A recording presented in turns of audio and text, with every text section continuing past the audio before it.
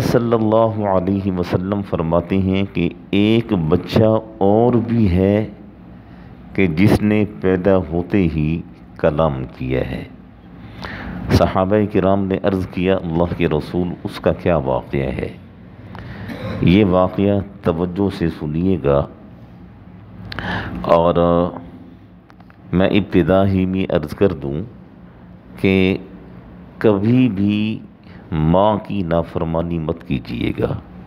کبھی بھی ماں کی نافرمانی مت کیجیے گا۔ اور ماں کی بد دعا آسمانوں کو چیر کر عرش پر جایا کرتی ہے۔ یہ اسی پر ایک واقعہ ہے۔ حضرت صلی اللہ علیہ وسلم نے فرمایا کہ بنی اسرائیل میں ایک نوجوان تھا جو بڑا عبادت گزار تھا اور اس کا نام جوریج تھا، جوریج۔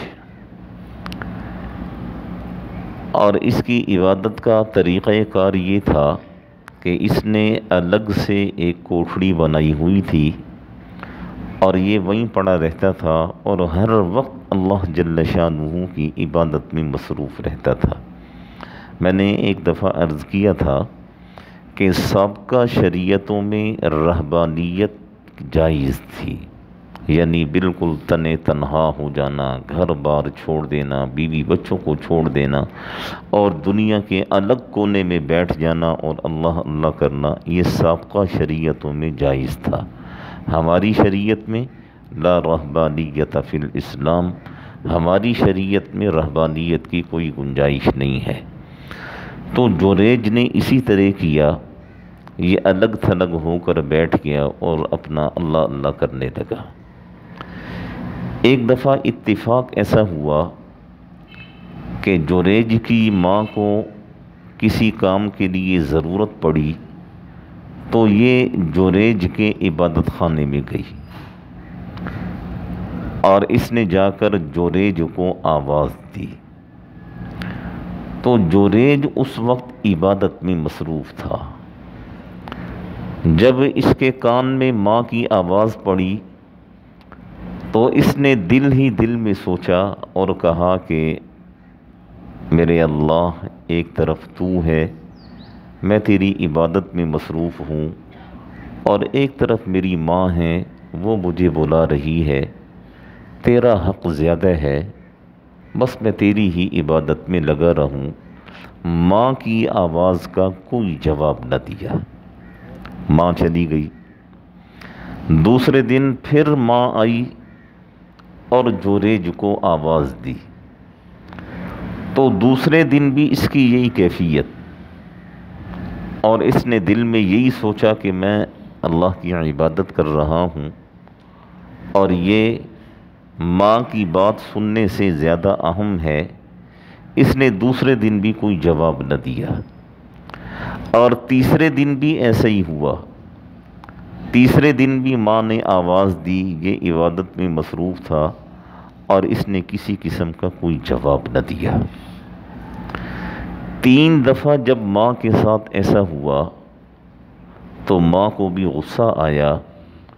اور ماں کی زبان سے ایک جملہ نکلا کہ جوریج، اس وقت تک تجھے موت نہ آئے، جب تک کسی زانیہ اور فاحشہ عورت سے تیرا واسطہ نہ پڑے۔ جوریج، اس وقت تک تجھے موت نہ آئے، جب تک کسی زانیہ اور فاحشہ عورت سے تیرا واسطہ نہ پڑے، یہ ایک ماں کی بد دعا ہے۔ ایک چیز، گھروں میں جو خواتین ہیں، انہیں اچھی طرح سمجھائیں کہ غصے میں آ کر بچوں کو بد دعائیں نہ دیا کریں۔ بعض اوقات ماں باپ بہت زیادہ غصے میں آ جاتے ہیں اور اولاد کے حق میں بد دعائیہ کلمہ نکال لیتے ہیں۔ کبھی ایسا بھی ہوتا ہے کہ وہ قبولیت کا وقت ہوتا ہے اور وہ نکلی ہوئی بد دعا وہ قبول ہو جاتی ہے اور پھر اولاد ساری زندگی پریشان رہتی ہے۔ جوریج کی ماں نے بھی یہی کیا کہ غصے میں اس نے کہا کہ جوریج تجھے اس وقت تک موت نہ آئے جب تک زانیہ اور فاحشہ عورت سے تیرا واسطہ نہ پڑے۔ وقت گزرتا گیا۔ جوریج کی عبادت کے چرچے پورے شہر میں ہونے لگے اور لوگ اسے بڑا بزرگ تصور کرنے لگے۔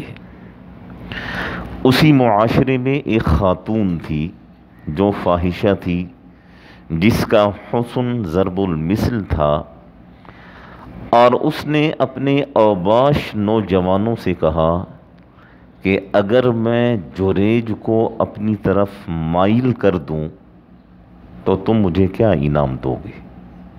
ان اوباش لڑکوں نے کہا کہ وہ اللہ والا ہے، بزرگ ہے، وہ تیری طرف مائل نہیں ہوگا۔ تو اس فاحشہ عورت نے کہا کہ اگر میں اسے اپنی طرف مائل کر لوں تو تم مجھے کیا انعام دو گے؟ تو ان لڑکوں نے کہا کہ تم اسے اپنی طرف مائل کرو پھر ہم دیکھیں گے۔ چنانچہ لکھے ہے یہ حدیث پاک کا واقعہ ہے۔ یہ آپ صلی اللہ علیہ وسلم نے اپنے صحابہ کرام کو سنایا ہے۔ تو آپ صلی اللہ علیہ وسلم فرماتے ہیں کہ اس فاحشہ عورت نے ایڑی چوٹی کا زور لگایا جوریج کو اپنی طرف مائل کرنے کے لیے۔ لیکن وہ تو اللہ والا آدمی تھا۔ اللہ کی عبادت میں ہر وقت غرق رہتا تھا، اس نے ذرا بھی اس عورت کی طرف التفات نہ کیا اور اس عورت کی طرف آنکھ اٹھا کر نہ دیکھا۔ اب یہ جو فاحشہ عورت تھی، یہ انتقام میں اور غصے میں یہ بھر گئی اور اس نے اپنے دل میں عہد کیا کہ میں جب تک جریج کو ذلیل نہیں کروں گی، رسوا نہیں کروں گی اس وقت تک میں اس کا پیچھا نہیں چھوڑوں گی۔ اس نے فاحشہ عورت نے ایک آدمی سے زنا کروایا اور اس زنا کے نتیجے میں اسے حمل ٹھہرا۔ حمل کے بعد اس کا بچہ پیدا ہوا۔ جب اس کا بچہ پیدا ہوا تو لوگوں نے اس کا گربان پکڑا کہ تیرا تو خامن ہی نہیں ہے۔ بتا یہ بچہ کس کا ہے؟ کس سے تو نے منہ کالا کیا ہے؟ اور کس سے تو نے حرام کاری کروائی ہے؟ تو اس عورت نے کہا کہ یہ جوریج کا بچہ ہے، یہ جوریج کا بچہ ہے اور جوریج نے مجھ سے زنا کیا ہے۔ یہ ماں کے منہ سے نکلی ہوئی بات یہ اب چل رہی ہے کہ یہ جوریج کا بچہ ہے، جوریج نے مجھ سے زنا کیا ہے۔ وہی لوگ جو معتقد تھے جو جوریج کی بزرگی کے گن گا رہے تھے، انہوں نے جوریج کو گریبان سے پکڑا اور اس کی عبادت خانے سے گھسیٹ کر لائے۔ اس کا عبادت خانہ گرا دیا، اسے جلا دیا اور جوریج پر تشدد کرنے لگے۔ تو جوریج نے ان سے کہا کہ مجھے بتاؤ تو صحیح میرا جرم کیا ہے، میرا جرم کیا ہے۔ تو لوگوں نے کہا کہ ابھی تو جرم پوچھتا ہے، اس عورت سے تو نے زنا کیا ہے اور یہ جو بچہ پیدا ہوا ہے، یہ تیرا بچہ ہے۔ تو جوریج پریشان ہو گیا۔ تو جوریج نے کہا کہ ایسا کرو، اس بچے کو میرے پاس لاؤ۔ جو بچہ پیدا ہوا ہے، اس بچے کو میرے پاس لاؤ۔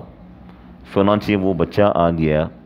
تو جوریج نے کہا کہ بس مجھے تھوڑی سی عبادت کرنے دو۔ عبادت کرنے کے بعد پھر میں تم سے بات کرتا ہوں۔ چنانچہ اس نے عبادت کی۔ عبادت کرنے کے بعد اس بچے کے پیٹ میں جوریج نے یوں انگلی چبھوئی۔ اور انگلی چبھو کے کہتے ہیں کہ بچے، بتا تیرا باپ کون ہے۔ بتا تیرا باپ کون ہے۔ تو اللہ جل شاہ نے اس بچے کو قوت گویائی عطا فرمائی۔ اور اس بچے نے کہا کہ یہ جوریج میرا باپ نہیں ہے، فلاں آدمی میرا باپ ہے۔ جب لوگوں نے سنا تو لوگوں کو اپنی غلطی کا احساس ہوا اور لوگوں نے جوریج سے کہا کہ جوریج، اگر تم کہو تو ہم تمہاری عبادت گاہ سونے کی بنا دیتے ہیں۔ جوریج نے کہا کہ نہیں، اسے بس ایسی رہنے دو اور یہ شخص ایسی عبادت کرتا رہا۔ عبادت الگ چیز ہے، اطاعت الگ چیز ہے۔ عبادت الگ چیز ہے، حقوق العباد الگ چیز ہے۔ بلکہ مجھے یاد ہے، میں نے کہیں پڑھا تھا کہ اگر انسان نفل نماز پڑھ رہا ہو، ماں باپ میں سے کسی کی آواز آئے، کوئی بلائے، تو نفل نماز انسان کو توڑ کر ماں باپ کی طرف انسان کو متوجہ ہونا چاہیے اور ماں باپ کی بات انسان کو سننی چاہیے۔ ایک جملہ عرض کرتا ہوں، کبھی بھی ماں باپ کی نافرمانی مت کیجیے گا، کبھی ماں باپ کے سامنے اونچا مت بولیے گا۔ اور ماں باپ کو بھی چاہیے کہ گھر میں ایسے حالات کبھی بھی پیدا نہ کریں کہ اولاد ماں باپ کے سامنے ہو جائے، یا اولاد ماں باپ کی نافرمان بن جائے، یا اولاد ماں باپ سے متنفر ہو جائے۔ اب وہ ماحول نہیں ہے کہ ماں باپ یہ کہیں کہ ہم حکم دیتے رہیں، اولاد مانتی رہے، نہیں۔ اب تو گھروں میں جب اولاد تھوڑا سا سر اٹھاتی ہے، تو اولاد کو چلانے کا بہترین طریقہ یہ ہے کہ ان سے دوستانہ رویہ رکھا جائے۔ کبھی ان کی مانی جائے، کبھی اپنی منوائی جائے، ان کی جو جائز ہے وہ مانی جائے۔ اور اس طریقے سے اگر گھر کا نظام چلائیں گے تو انشاءاللہ اولاد بھی وفادار رہے گی، فرما بردار رہے گی۔ اور اولاد بھی ماں باپ کی گستاخی اور بے احترامی سے بچتی رہے گی۔ اور اگر خدا نہ خواستہ اولاد ماں باپ کے سامنے ہو جائے ماں باپ کی نافرمانی پر اتر آئے۔ ماں باپ یہ کڑوا گھونٹ پی لیتے ہیں، برداشت کر لیتے ہیں۔ لیکن ماں باپ کے جانے کے بعد پھر اس اولاد کے لیے یہ زمین تنگ ہو جاتی ہے۔ اس اولاد کے لیے پھر تکلیفیں اور پریشانیاں یہ مقدر بن جاتی ہیں۔ اسی لیے اللہ جل شاہ نے قرآن مجید میں ایک ہی لفظ استعمال فرما کر اس مسئلے کو صاف فرما دیا ہے کہ فلا تق الما اف اف تک اپنی ماں سے، اپنے باپ سے کبھی نہ کہنا۔ اگر تمہاری زبان سے اف بھی نکل آیا تو یہ تمہارے لیے تباہی اور بربادی سے کم نہیں ہوگا۔ دعا فرمائیں۔ اللہ جل شاہ ہم سب کو اپنے والدین کا ادب اور احترام کرنے کی توفیق نصیب فرمائیں اور جو والدین ہیں انہیں بھی اپنی اولاد کا اکرام کرنے کی توفیق نصیب فرمائیں آپ صلی اللہ علیہ وسلم نے فرمایا ملم یرحم صغیرنا ولم یبقر کبیرنا فلیس منا۔ جو آدمی چھوٹوں پر رحم نہیں کرتا، بڑوں کی عزت نہیں کرتا، وہ قیامت کے دن ہم میں سے نہیں ہوگا۔ وہ قیامت کے دن ہم میں سے نہیں ہوگا۔ اللہ تعالی ہم سب کو صحیح معنی میں سمجھنے کی صحیح معنی میں عمل کرنے کی توفیق نصیب فرمائے